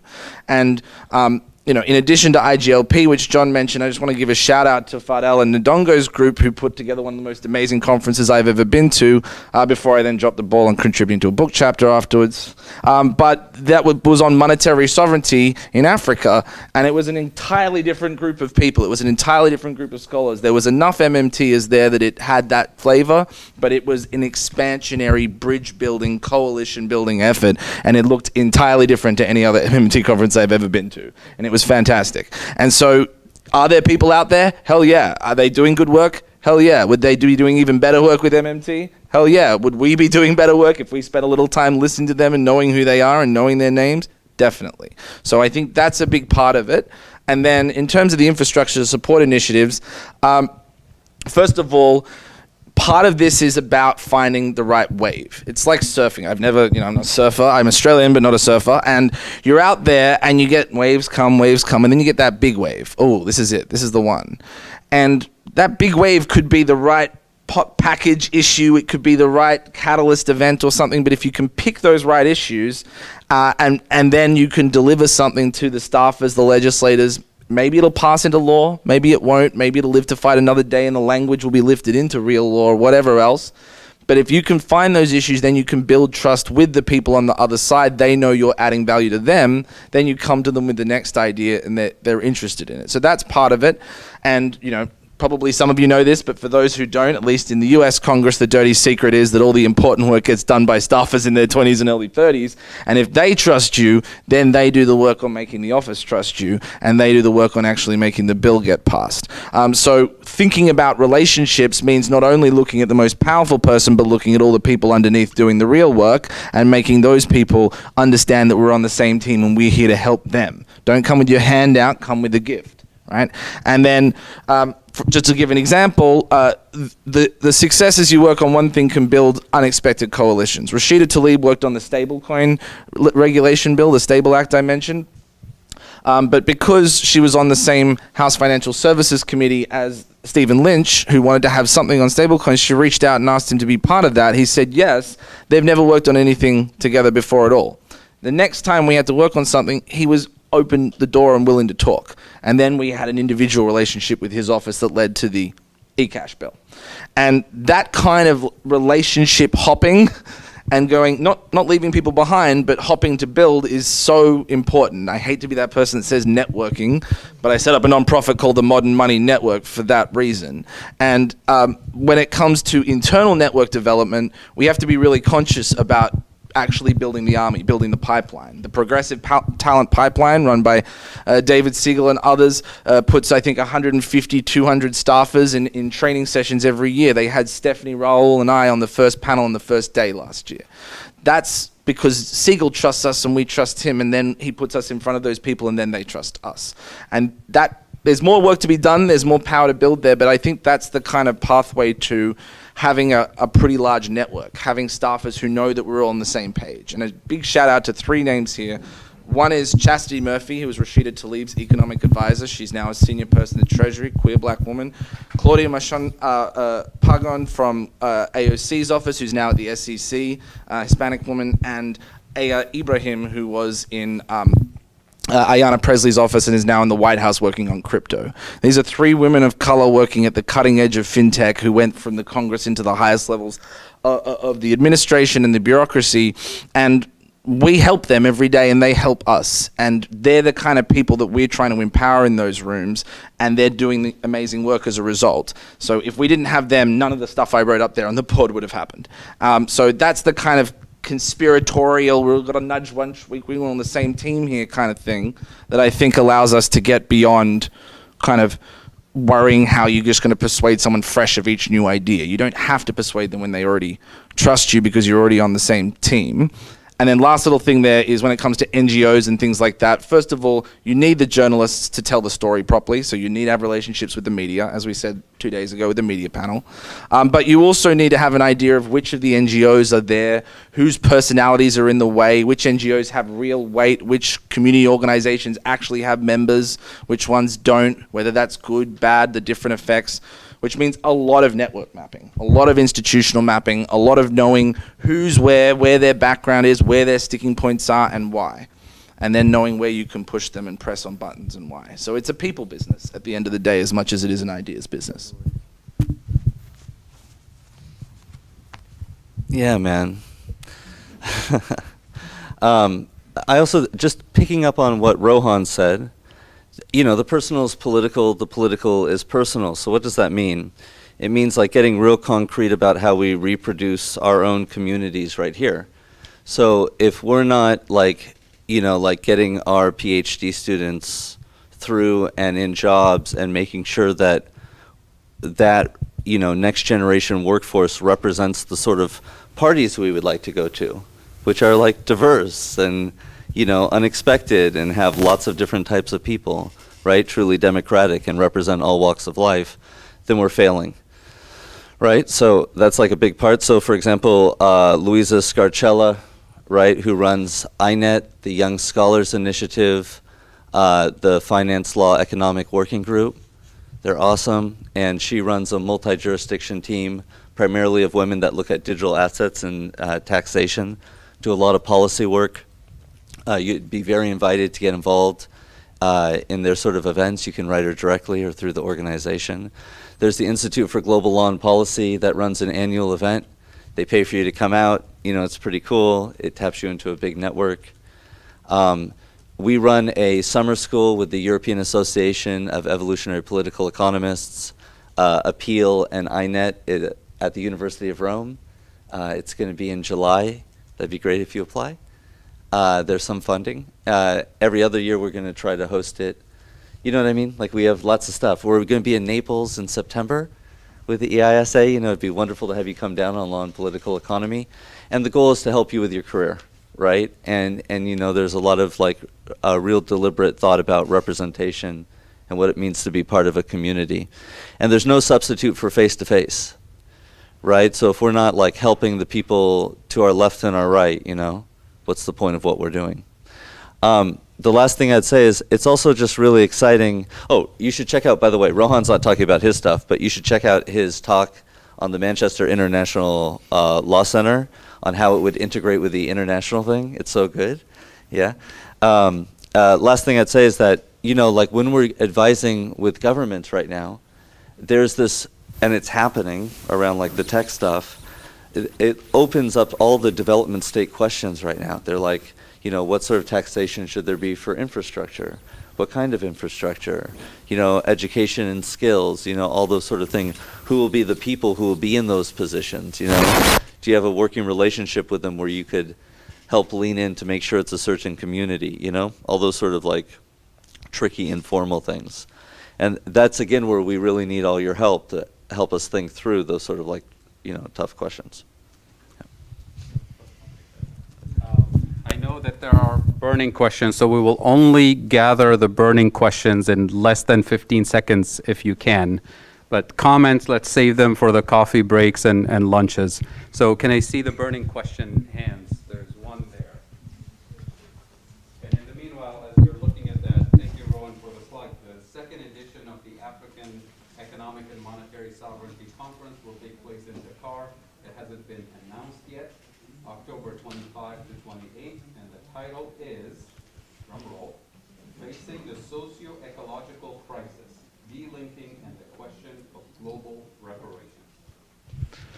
Yeah, thank you. Um, my question is when we talk about MMT, we talk about unleashing the government's full potential and just pulling the lever and letting the cash flow. But my uh, the point where i am still struggling with is that uh, in the last 40 years, we haven't seen that a decoupling of economic activity from resource use and extraction is actually occurring or possible. And then when we talk about greening the environment and through the insights that we gain from MMT, uh, I feel like there's a contradiction there because, of course, we need to decarbonize our economy, but just stepping on the paddle is, doesn't also seem very uh, long-term oriented for me. Any other burning questions? I see Jeff here, semi-burning, it looked like it wasn't like very Right. burning, but we'll take it, yeah. Uh, my question's for Rohan. Um, you in uh, early on in your talk, uh, I, I, you mentioned uh, the deficiency of the legal definition of a bank deposit, and I was wondering if you could just elaborate on that definition and how that how the deficiency of that definition is leveraged by the crypto community. I'll start quickly with the, with the decoupling uh, question about energy, fossil fuels, and, and growth. I think it's we have to completely change the metric of what we consider growth. I mean, there's lots of MMT and degrowth literature that's growing as we speak. I'll be on a panel uh, called MMT and degrowth uh, in uh, with the International Ecological Society in the next couple of days. I, I need an office space upstairs, Dimitri, please, for, for the session. But essentially, the metric that we use for growth is GDP. So every time we have an oil spill to clean up, GDP goes up, it gets celebrated. Yay, 3% GDP growth, right? Every time we have cancer treatment because people are drinking polluted water and eating polluted food, and we say economic growth. But we're not looking at the hidden costs. So changing the metric, meaning looking at a dashboard of alternative economic indicators and quality of life indicators, including genuine progress indicator and other things. And once we use those alternative metrics as our kind of focus, then we can think of growth in a different way growth of quality of life, so the quality rather than the quantity as measured by, by GDP. And I think if we do everything we descri- I described earlier, global reparations and all that transfer of technology, we're going to have a lot of growth because we're going to have to rebuild global infrastructure, a lot of growth in the traditional GDP sense of the term, but it'll be qualitatively different.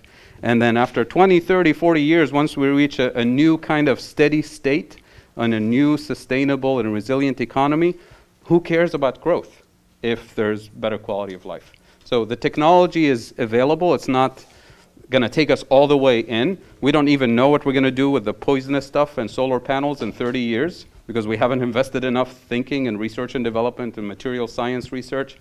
But we must, right? We have plenty of space to go on the green space, but we need way more resources and research and development to truly reach that uh, ultimate uh, goal. So, uh, Rohan. Quick. Um, on the deposit issue, essentially, it defines a deposit as that which is issued by a bank, and then defines a bank as that which issues deposits. So if you don't issue a deposit, you can't be a bank, and if you're not a bank, then you're not issuing deposits. So it mustn't be a deposit that you're issuing, which means that money transmittal balances, etc., aren't. The book to read on this is Morgan Ricks' The Money Problem, and him and Lev Menand have written about this amongst others. Uh, on the question of letting the cash flow from MMT and sort of decoupling from resource extraction, I think you know that. I agree that the logic of GDP growth is the logic of the cancer cell um, above all, uh, but I don't think we have to take GDP growth slowing down and, and real resource growth slowing down as equivalencies. And, and even if they're a strong heuristic today, I don't think we have to assume that relationship has to be fixed. I like to joke uh, about a, uh, an economy built around, you know, singing, jokes, and massages, all of which have an extremely low uh, quality uh, resource extraction cost, but also, at least in my opinion, all pretty fun. Um, so having that kind of uh, economy that we move towards, it could still have quite strong GDP growth, um, but wouldn't actually be. Uh, very resource intensive and similarly there's all these people who like to say that people should stop going to college and it's a waste of time etc but i think growing into better more mature people if we have the time and capacity as a society to let people not be fully formed until they're 22 25 we're moving this way in terms of criminal law. We're saying adolescence is a, a new legal category that goes from 18 to 28 and we shouldn't assume that people are culpable for everything for the rest of their life that they did there. And we, we're establishing the age of 28 as the age of brain maturity security. So that's at least to me a decent starting point to say we all get to keep growing and working out what we're going to contribute to the world until then before we're asked to be part of the workforce. So a dramatic, you know, slowdown in the workforce and time to grow is, I think, another low carbon intensive way that we could increase people's standard of living. And so this goes to the other question is what do you do in moments when you can't just shut everything down? Now, first of all, I think we do need to shut a lot of stuff down. With a job guarantee, with a Green New Deal investment, we will be building other things back up and that you know, there will be a shuffle. There will be changes in power. But you know, a lot of people have got jobs right now, like oil company CEOs. They've been fully employed for a long time. Let's give them a little bit more job insecurity and give some other people some job security. Um, and I come from a country where a few thousand coal miners in a few districts shut down the entire political debate every year. And we can, again, value their interests, but maybe not at the expense of the other 22 million people in my country. Um, but and one example about this is, I think, illustrative. In the UK, there was rationing in World War II and nutrition went up we think of rationing as terrible. It was the first time kids got a healthy meal uh, in, in, in many parts of the country. And when we think about good rationing, an obvious example to me today is digital culture, where you can copy paste the same thing, and the only thing standing in the way is dumb copyright laws backed by a theory of economic incentives that's fundamentally neoclassical. And so, if you said in the middle of COVID, yeah, look, you know, some, some prices are going to go up, but also we're going to suspend all your Netflix, Hulu account costs, and we're going to take it out of the profit margins of those bastards, and, you know, we'll start from there. And that might have really improved people's quality of life even as other things go down. But what we saw was quality of life goes down and nothing goes up. So we can be creative in how we offset inflation, not to make the single increase in used car prices go down, but to make other things that we enjoy that are currently massively overpriced due to rent seeking and excessive profits and reduce those so that people on net feel a good standard of living or feel like there's some at least offsetting. Um, yeah, that's all. Thanks.